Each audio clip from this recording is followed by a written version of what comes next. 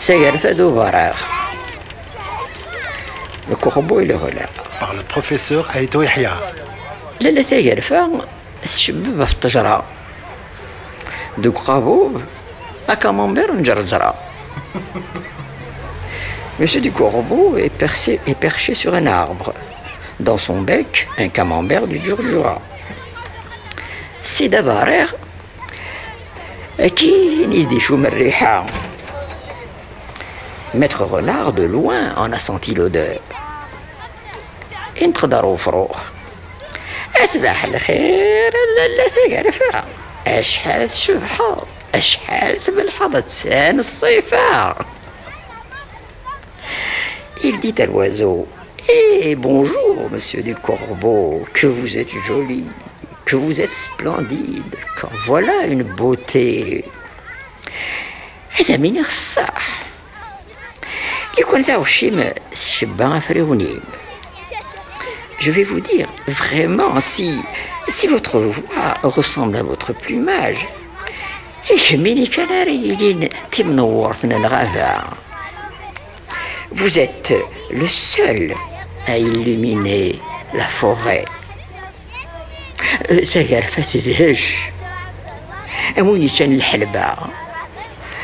le corbeau est tout ébahi comme quelqu'un qui aurait mangé du datura. Où Elle Cela les. Elle n'a pas l'habitude d'entendre de tels propos. S'il y a un cabobis, avoir l'air. Elle dit il a aussi une Il ouvre son bec.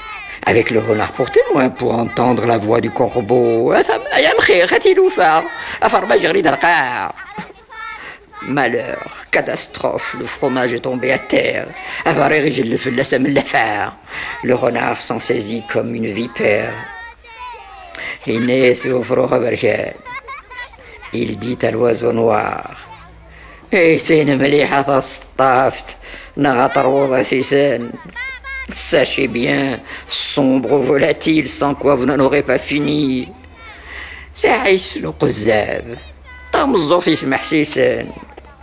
La vie du flatteur, c'est l'oreille qui l'écoute.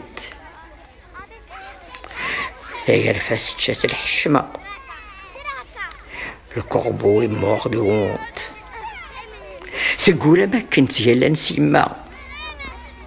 Il jure comme euh, on jure sur sa mère.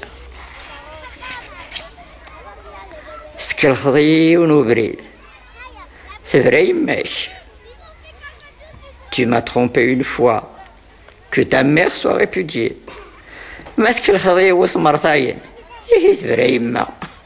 Si tu me trompes une seconde fois, alors que la mienne le soit. Parler d'Alger absolument parler de, la, de sa musique, la musique Chabi avec Hadi Al-Anqa. Euh, tu me présentes un peu l'instrument, l'instrument de ton père, Hajj Mohamed Al-Anqa Oui. Alors euh, voilà, c'est la mandole euh, du père, c'est la mandole qui a été, euh, euh qui a été conçue pour, euh, pour lui. Et c'est lui qui a demandé à, à un luthier qu'on appelle Bélido de lui faire euh, cette, cette, merveilleuse mandole qui est maintenant devenue indispensable dans l'interprétation des... Euh, quoi qu'il en soit, même si elle existait, cette mandole est, est particulière. Euh, ça veut dire elle est particulière dans le, la façon de mettre les cordes. Déjà, il y a deux troisièmes, deux quatrièmes, deux cinquièmes et deux sixièmes. Euh, L'accord de la mandole qui est sol ré la, la mi ou sol ré la ré. Donc euh, euh, je pense que même si elle a, existé, c'est une pure euh, coïncidence parce que euh, Hajj Mohamed euh, jouait avant, la, création de cette mandole, avant qu'il qu demande de, faire cette mandole, il jouait avec la mandoline, la petite mandoline. Donc ça, ne concordait pas très bien puisqu'il avait une, voix grave. Donc elle n'était pas en accord avec sa voix qui était grave et avec sa corpulence aussi parce qu'elle était trop petite pour lui c'était un grand homme là et, et voilà.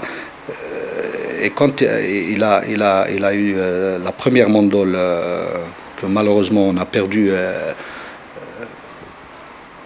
qui était de Bélido elle, elle concordait très bien elle s'accordait très bien avec sa voix. Et parfois, on entendait même des, des, des, des terminaisons, des, des, rimes de, de, de mots qu'il les finissait avec sa mandole. La première mandole, elle était en 1940 dans la mandole. Comment on pourrait dire l'instrument de, de, de, la ville de Paris C'est l'accordéon? On peut dire Voilà. que le- le- la mandole, c'est l'instrument d'Alger. Exactement pareil. Donc, euh, il y a le, il y a le shabi qui est resté ancestral, qui est resté pur, qui est resté. euh, et qui n'est pas bien apprécié par les jeunes d'aujourd'hui qui veulent euh, entendre euh, leur, euh, leur, euh, leur malheur et leur bonheur et leurs amours et leur, euh, leur façon de, de- vivre et tout. Et il y a aussi les, les mélomanes, les conservateurs qui veulent euh, écouter les, les, grandes qassidates. euh, voilà, c'est là un, conflit de, de, génération, un conflit de... Donc, euh, le- il y avait la, musique d'Alger qui était le, le chabi, il y avait la musique d'Alger qui était aussi l'andalou. Maintenant, Alger, il y a- plein de musiques. Oui. Toutes les musiques sont là, les paraboles sont là, Oui, tout- oui. toutes les musiques sont là. Quelle est la place du chabi dans, dans, dans tout ce magma musical entre le rail, le rock, le blues, la techno, tout ça? C'est, Est-ce qu'il est a une petite place? Est-ce qu'il, euh, comment, comment tu vois les choses, toi, par rapport à. Il va, il va avoir, il va avoir sa place. Il va avoir sa place. Il va avoir sa place parce que euh, les, gens d'Alger en particulier et d'Algérie en général, euh, ils se retrouvent quelque part dans le Chabi, ils se retrouvent quelque part dans le Chabi, ne serait-ce que dans, euh, leur euh, identité culturelle.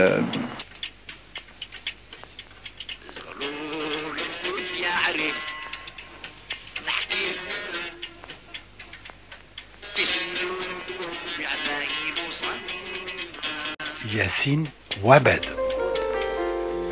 الجمرة تكوي وين تحطها الضر. وكاين شي علات بالكيات برا أنا كيتي نار كتر من الجمر كوات لي قلبي وخلات فيه مارة.